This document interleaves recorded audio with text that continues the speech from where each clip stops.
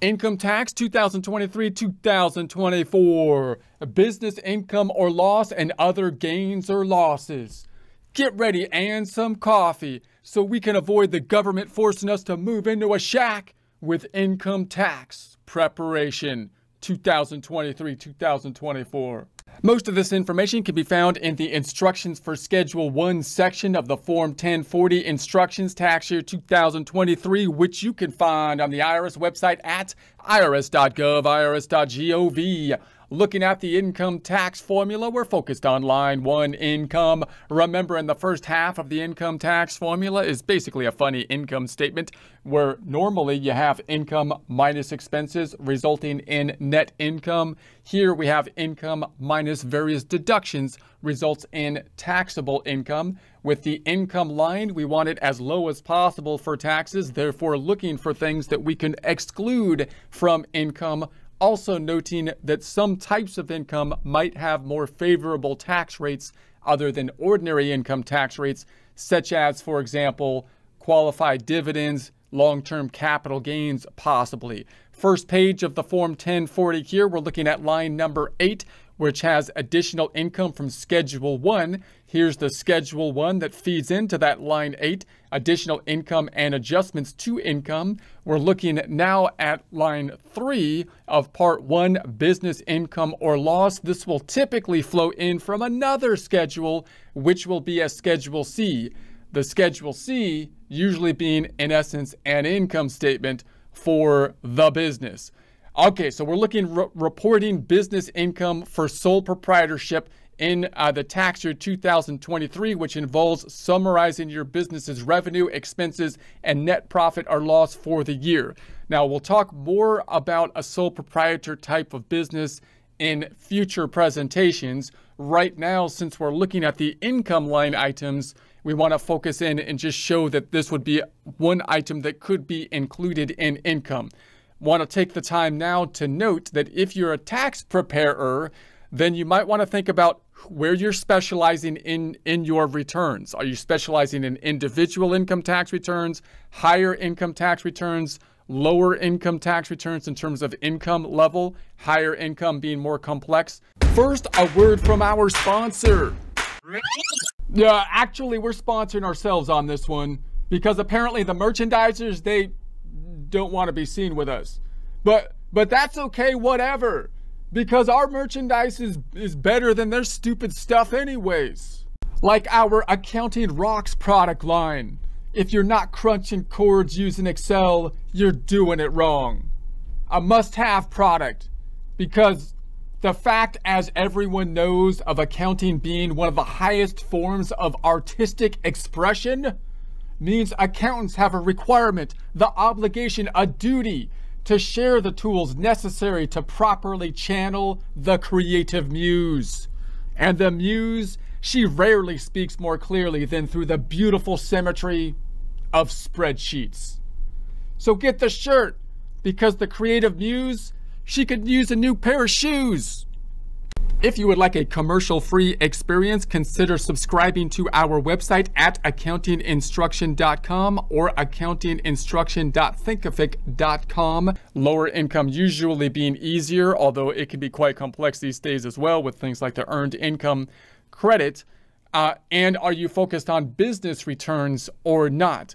Business returns could include a sole proprietor that we'll talk about here, but also could include uh, a partnership, in which case you'd have a separate flow through entity, an S corporation, which has basically a flow through entity, and a limited liability company flow through entity, or a Schedule uh, C uh, type of, I'm sorry, a C corporation, which would be a separate basic legal entity, which is taxed at the corporate level.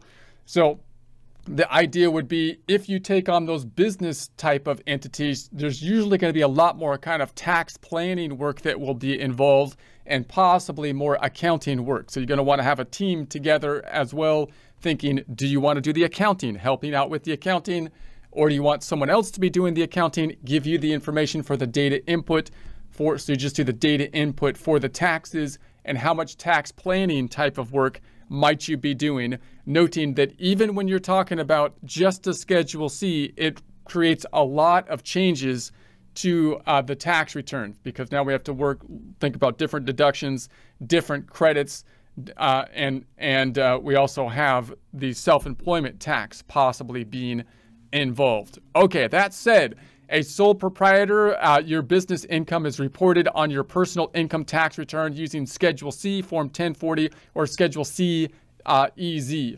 Now, so the Schedule C is basically an income statement in and of itself. This gets confusing, I know, because we're talking here and said that the formula for the income tax equation is basically a funny income statement, income line items minus the deductions.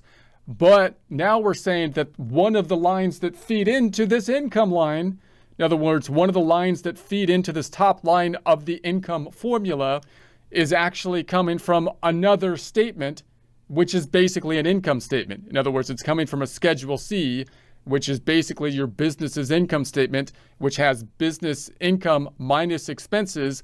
The expenses on your business income statement are basically deductions.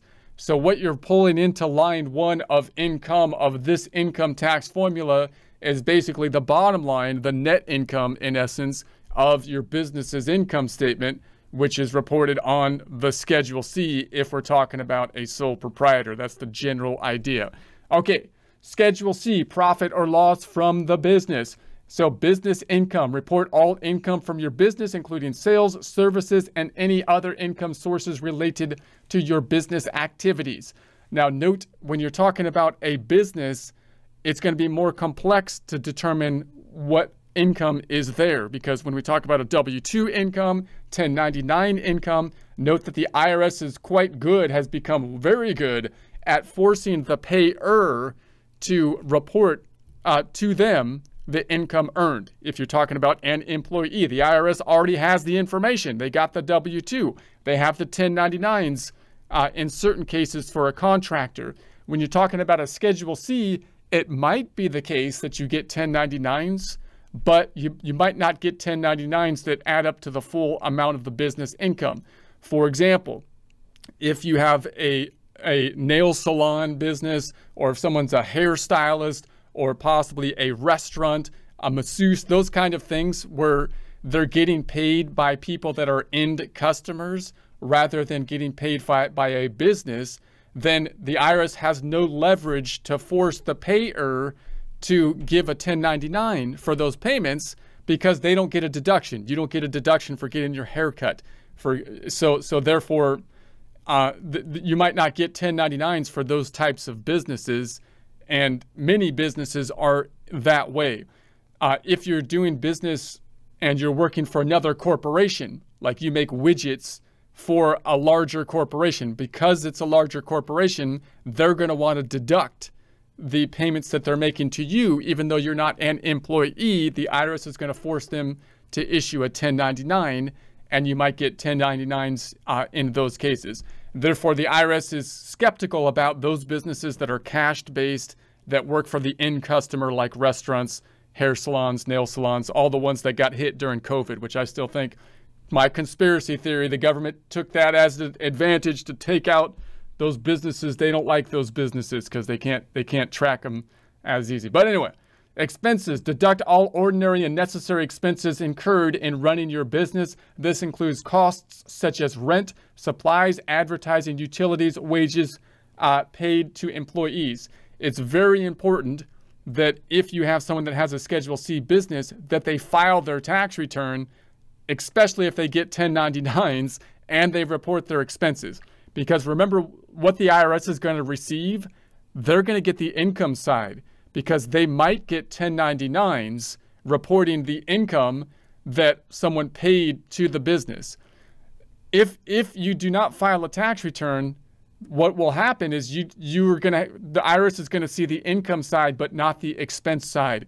This is often where people get in deep trouble with the IRS over years because they just don't file their tax return and they don't really understand the whole consequences of not doing that because they've already they've always been a W2 employee in which case we have trained people not to really understand their tax consequences because we force the employer to take the money out of their wages for them. So they've they've been trained not even really to think about it. when they start a new business, oftentimes they they don't keep up with their tax obligations, possibly, and then they get hit with with possibly the IRS saying that they earned like a hundred thousand of income, when really, if they had all the expenses that they wrote off, it would be a lot less, right?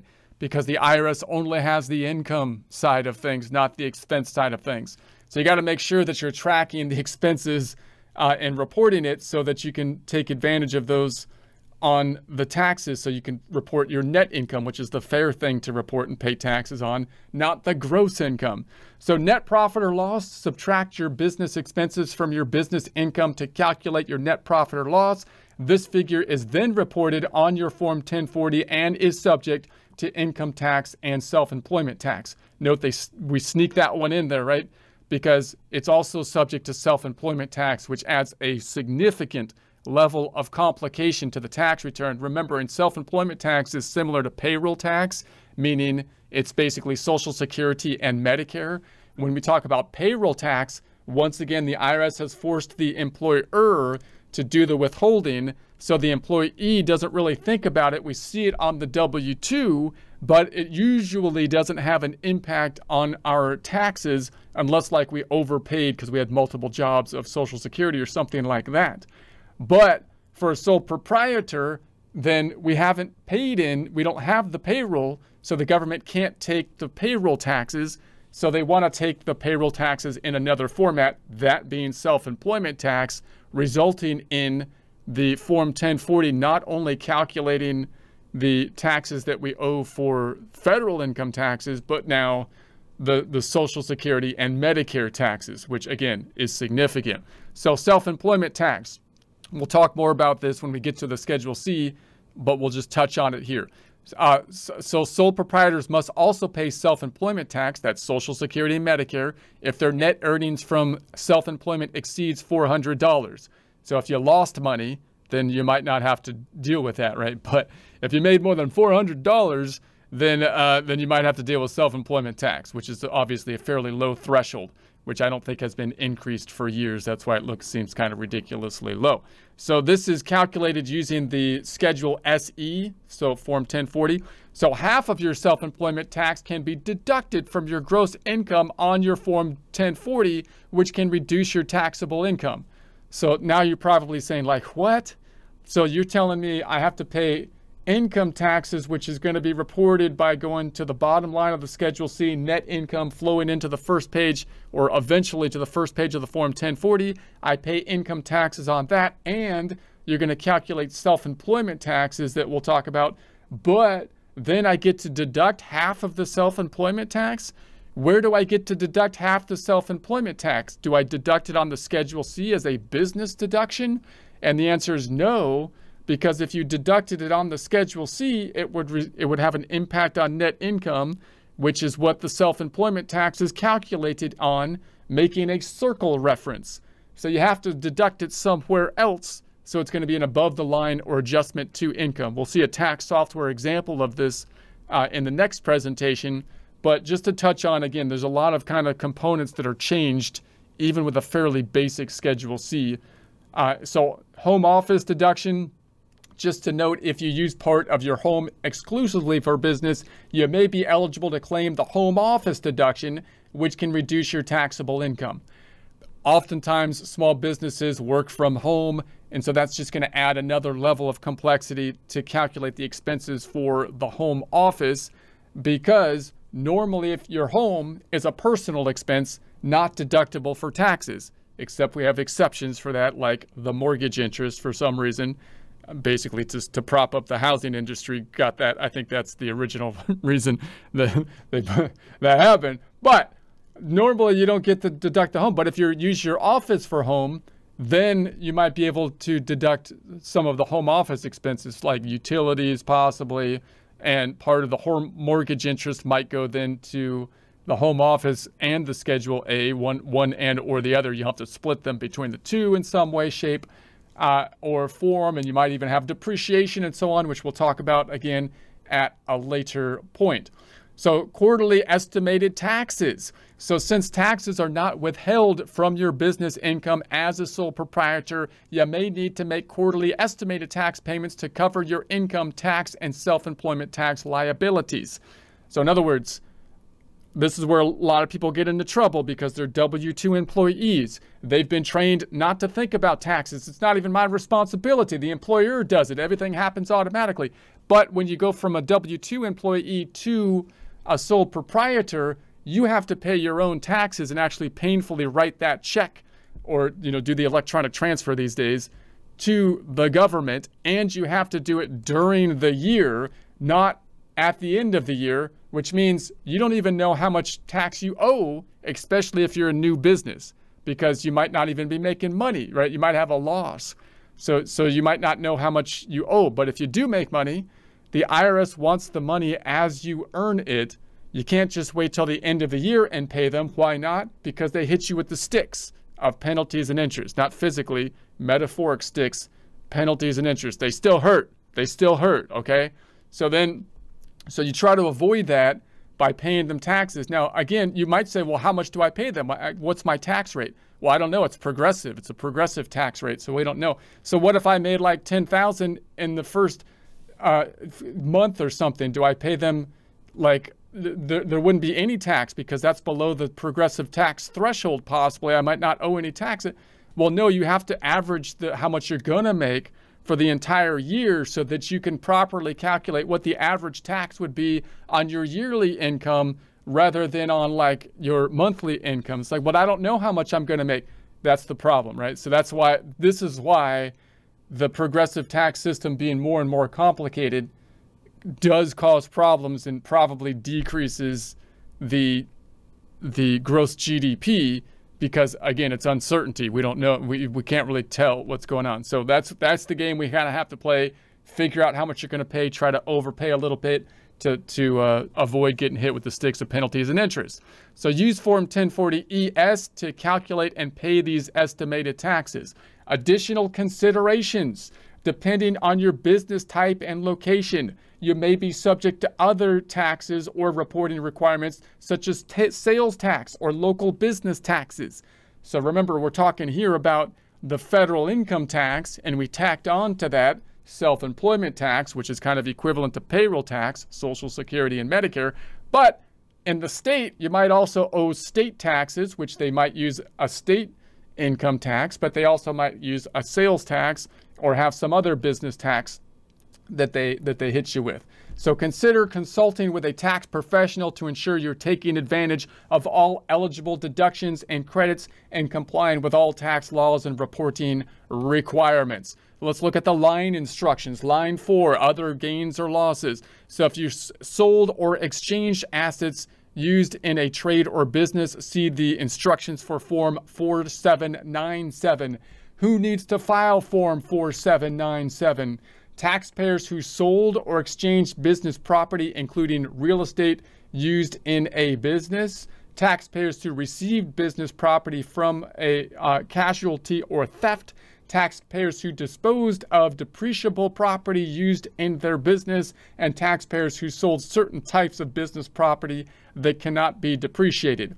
So note, when you talk about business property, we have an income statement on the Schedule C. We don't typically have the balance sheet reported, assets, liabilities, equity. We just have the Schedule C, which is the income statement because we have an income tax. But, uh, so you would think that you would just expense things uh, as they happen, which would normally people would think of a cash-based system, which might be usable, although there could be exceptions if you have a substantial amount of inventory, for example, and whatnot, uh, which we'll talk more about those later. But even if you're on a cash-based system, sometimes you have to do accrual things, uh, meaning, for example, if you buy property, plant, and equipment, you have to put it on the books as an asset instead of expensing it because there's such a big difference in timing difference between the point in time that you actually use that stuff versus the time that you purchase it. And so so so now you have to deal with depreciation if you have depreciable assets. And then when you sell those assets, then you might sell them at a gain or a loss. And then you have to deal with the, the calculation of the sale uh, or disposal of uh, depreciable assets. Not all small businesses might not have to deal with many uh, depreciable assets. Depends on the type of industry you're in. If you just have gig work, for example, you might not have a whole lot of depreciable assets uh, because you might not have, you know, you might have very limited, limited things that you're using for the business that are long-term assets. In any case, we'll talk more about that later in the Schedule C section. Just to point it out here, IRS Form 4797, quote, sale of business property, end quote, is used to report the sale, exchange, or involuntary conversion of property used in your trade or business and certain depreciable property. This form helps taxpayers calculate the gain or loss from these transactions and determine how the gain or loss is treated for tax purposes, e.g., as ordinary income or capital gain.